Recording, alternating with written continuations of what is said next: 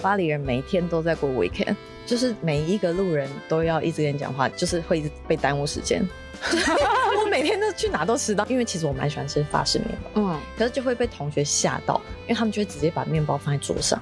啊，但那个桌子刚刚可能在写字或什么之类的，然后就被他们吓到。可能每天他们都已经很习惯了，因为我上课的那两个礼拜是我独旅嘛，然后我就到了巴黎，哇，话锋一转，我直接变成是每天都在喝酒了。然后有一天我遇到那个巴黎的夏至。是那个音乐音乐节吗？我有一次也是碰到，就是那个地方你会真的寸步难行，就是没有一个人待在家，全部人都在路上。真的，我觉得可以听到嘻哈，可以听到 techno，然后还可以听到各种什么都有，连 K-pop 都有。上放谁的 K-pop？就是什么都，就是看流行什么，因为他们一定都会放。啊哦，所以现在在欧洲红的是。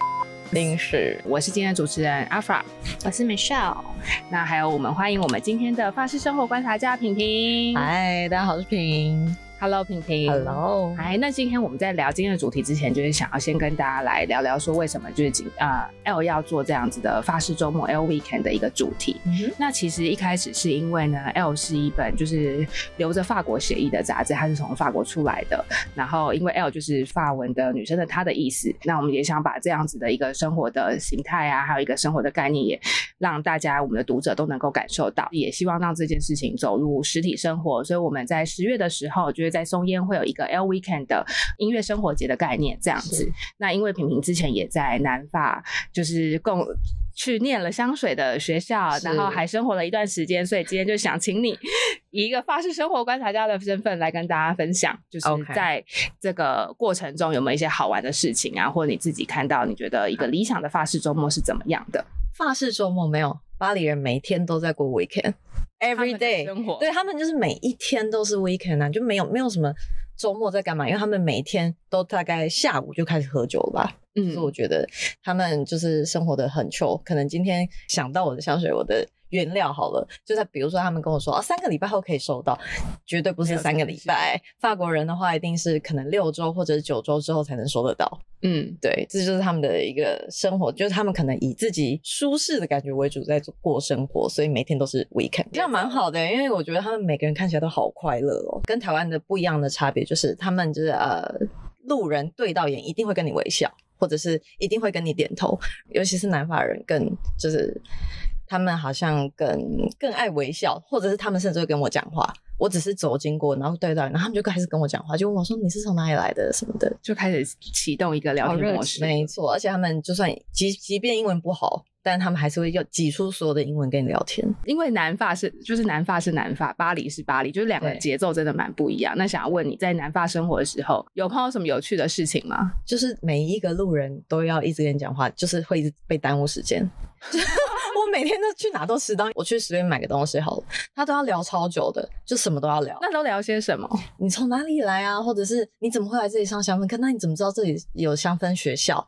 然后问说，那你等一下要去哪里？那你今天去哪？然后什么之类的？然后就是问了各种问题，你能想得到他都问了。所以在法国他们会迟到也是有原因的。对，因为到处都被耽误啊。对，我走到哪都被分钟 抓住。我想说，怎么那么会聊？而且其实我算是蛮。内向的，就是我是 I 人，可是，在那边好像你你必须接受这个外向，因为大家也不会觉得怎么样，就不我觉得在那边比较不会害羞，会不会就变成是一件比较自然的事事情？因为都大家都聊得这么起劲，然后很乐意的跟你聊天。因为假设你如果太内向，我还想说。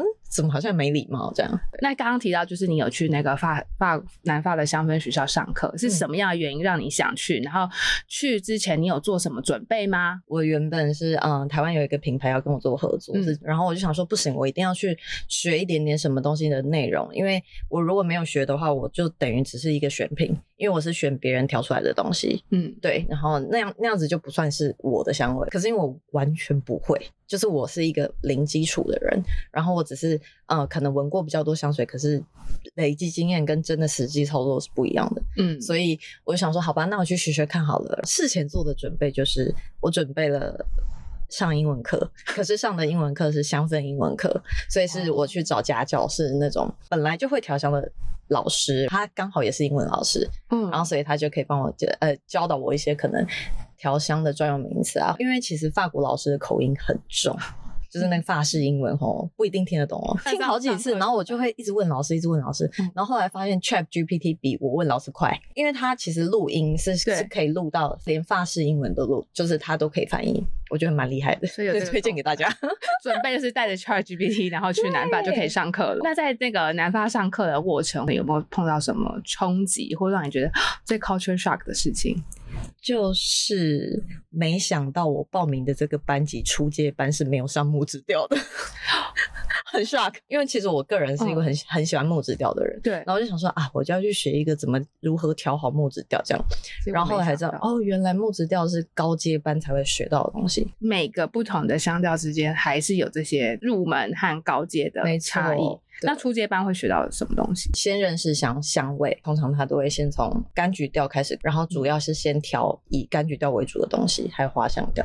所以木质调相对是比较比较少的，但是是。我现在调出来的东西，其实有木质调是，就是我自己去就下课的时候一直烦老师，我说老师，请问一下，如果我要调一些木质调的东西的话，那我应该怎么样？老师会说你去上高阶班，对，老师说这是你之后才会学到的，但他还是会跟我讲啦。那你有觉得就是呃，法国人他们用香的方式有跟亚洲人不太一样嘛？或是在那边有没有什么新的发现或觉得有趣的事情？就是他们那边，因为我去上课的地方是格拉斯，就是香水的。对香水之都，对之都，然后所以他们就是那边大概有上百间香氛选货店，大概有一百间吧，各种都有自己的特色这样。然后，但是我发现他们的选品都比较意大利式，就是怎么说非常浓烈，然后清新的味道偏少。因为我在想，清新的味道可能是呃亚洲地区会比较喜爱，对欧洲的人都喜欢一些比较浓烈的味道。然后可能无论浓度高不高，就是是那种很强烈的味道，对比较强烈的。的那种性感一点的味道，大概懂了，我觉得蛮特别的。那今天你也带了一些你喜欢的香水来，可以跟大家分享一下吗？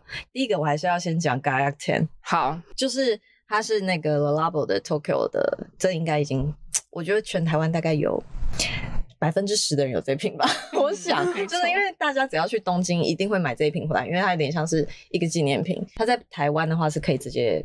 购入的，嗯嗯，就不用飞东京了。没错，就是省了一张机票钱。不过呢，你如果家里有这个的空瓶，就是可以去 refill 哦。我现在这个就是 refill 的，所以很满。因为仿佛没用过。因为其实 refill 它会真的帮你加到更满，它其实会多多调蛮多，然后它就会把没倒完的倒掉，一起倒，它帮你装到超满，超满，觉得很推荐给大家。哎，我还没讲到它的味道哦。嗯，因为它的香材是十，所以它只有十个香材就可以有这么复杂的味道，我觉得还蛮厉害的。对，这次也是大家都对，我觉得人手一支的味道，爱的味道，对啊，舒服。这一瓶真的是喜欢那种。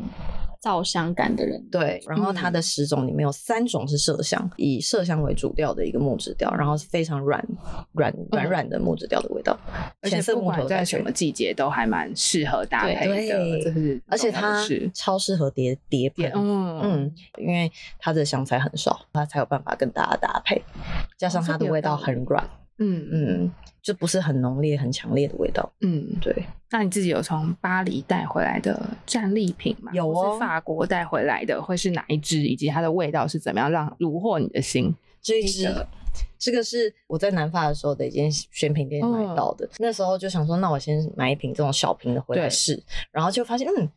就我上课后来都一直就是带带着，再带哈，没错，等于最爱的一个对香气那一段，就是我现在的香氛记忆，是我闻到它，我就会想到我上课的，是有一种宝宝皂香感，有一点，我觉得有点像红包袋的味道哦，对吧？再闻一次，你你不讲，我没想到，就是有一些木质调有一个红包袋刚刚你一讲完，有一个瞬间就马上回，真的有。台湾有那个呃选品店有选，嗯，这个牌子它是西班牙的品牌。那当初你怎么发现的？就在选选品店里面，然后逛逛逛逛到的。那你有觉得就是在那边上课，老师教会你最让你学到最多的东西是什么吗？就是我一直以为木质调就是要调木质调，但其实不是，每一瓶香水三种调性的东西都有加，只是比例多寡。不，所以不会有全全木质，有一些呃花香很浓的香水，会想说啊，整瓶都是那个花，还就其实不是，它里面有柑橘调，也有木质调，也有花香调，只是比例多寡而已。嗯，之前我就问老师说，那我很喜欢木质调，我可以整瓶都用木质的东西下去做吗？然后我就试了一次，然后那个味道超难闻的。我想说，这这是怎么有点像杀虫剂的味道，还是什么之类的？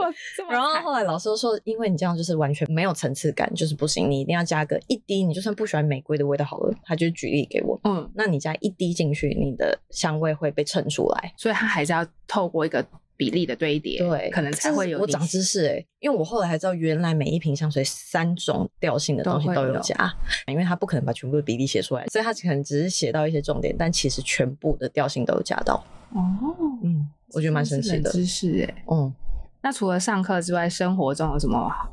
好玩、荒唐、有趣、疯狂的趣事吗？我觉得我无论到哪个地方，就是啊上，尤其是上课的时候，对，然后我们的主餐都会是法国面包，可能他会给你一个纸袋，对，然后大家一起分着吃，然后这是你的主食，就是有点像米饭的意思。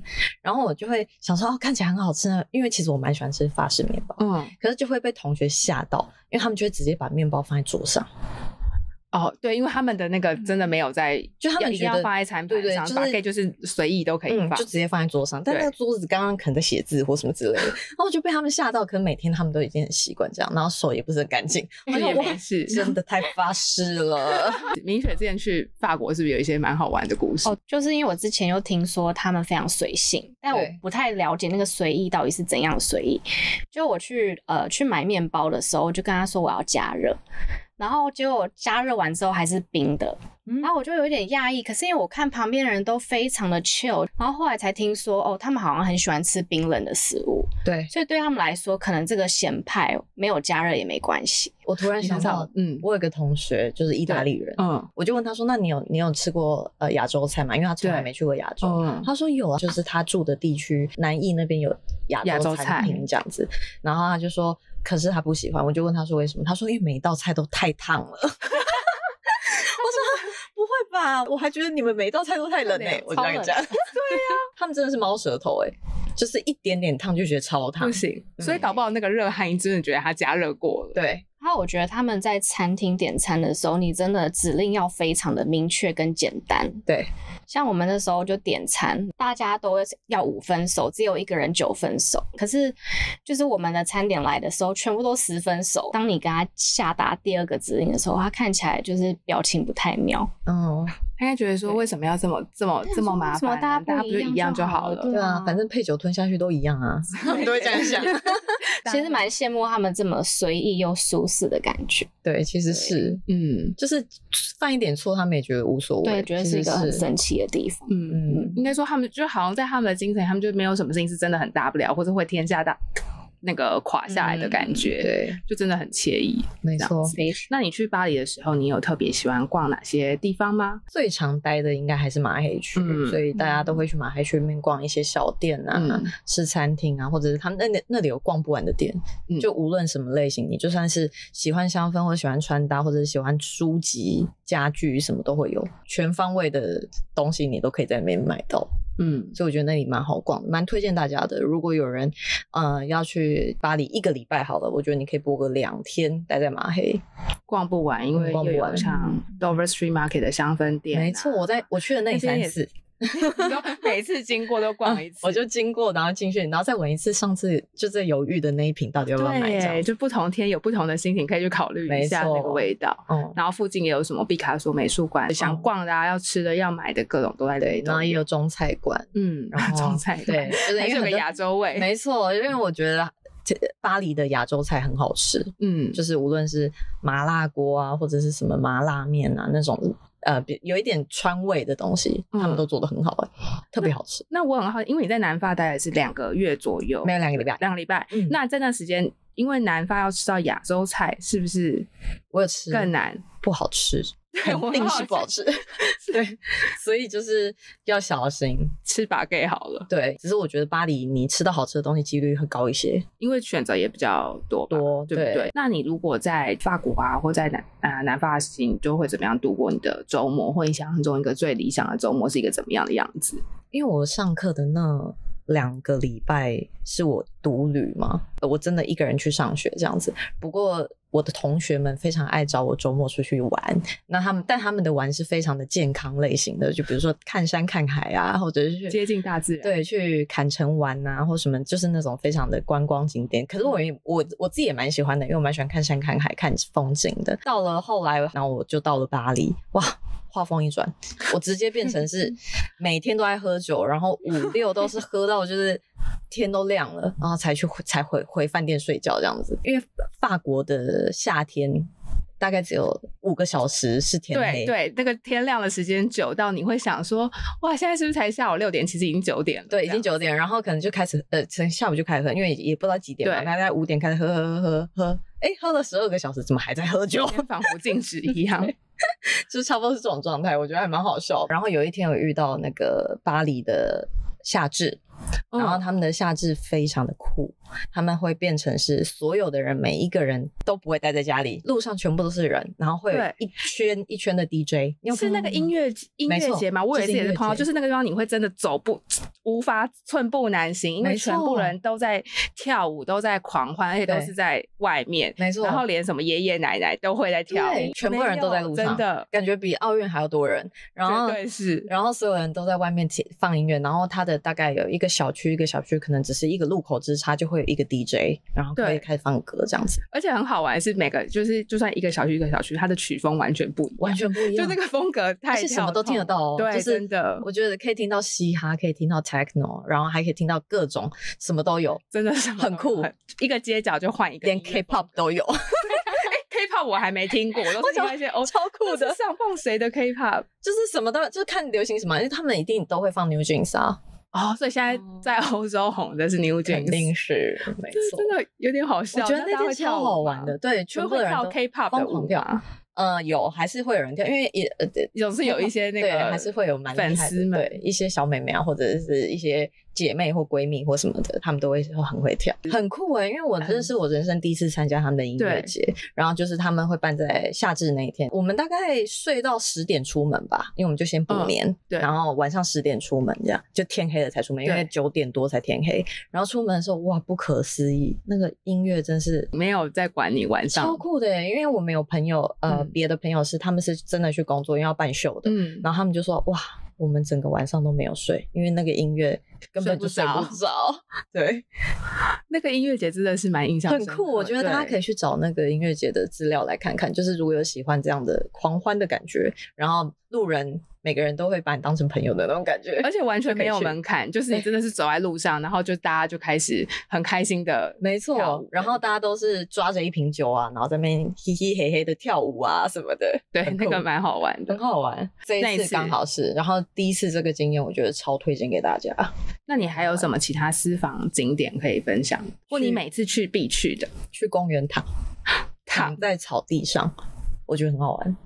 就是那是我觉得最放松的巴黎的，因为因为夏天嘛，他们就是非常喜欢晒太阳。对，今年到。五六月气温都是低的，都得有十几度。嗯，因为十几度的话，你晒太阳会非常的舒服，因为你会觉得又不会太热，对，然后有阳光，就蛮温暖的，所以你都会一直想要晒太阳。然后你就会发现杜乐丽花园，嗯，跟就是皇家花园或什么的，全部只要绿色草皮都是人，大家都躺在那边，就戴着墨镜然后躺着，我觉得这太享受了。而且你就不用管任何事，就是这边很很疗愈的，在那里发放空发呆看路人。这件事情才是真的完全没门槛，因为你如果是爱逛街的人，那你今天钱准备不够多，不就没得逛吗？